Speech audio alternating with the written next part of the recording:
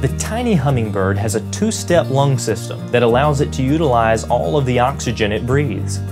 This efficient design might not be necessary for life, but for a bird who is flapping its wings at up to 80 times a second, it certainly is a helpful feature.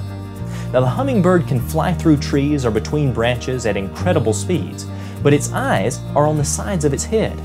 So how can it maintain the aeronautical ability that allows it to fly with such precision while not flying into a tree limb either in front or beside it?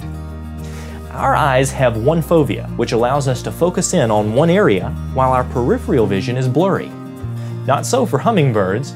They have two fovea, which allows them to see in focus straight ahead and side to side simultaneously.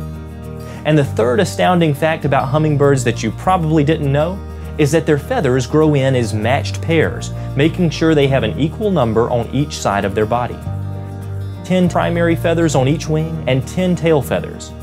It's pretty important for a hovering hummingbird to have equal lift, and indeed, this need is provided for. Chants are designed by a loving Creator. I'm David Rives. Truly, the heavens declare the glory of God. To find out more about the amazing design of hummingbirds, get a copy of Refracted Glory, the new feature-length documentary that will take your breath away. Visit creationsuperstore.com slash hummingbirds. Sign up for our email updates at davidrives.com to receive free content and videos. That's davidrives.com.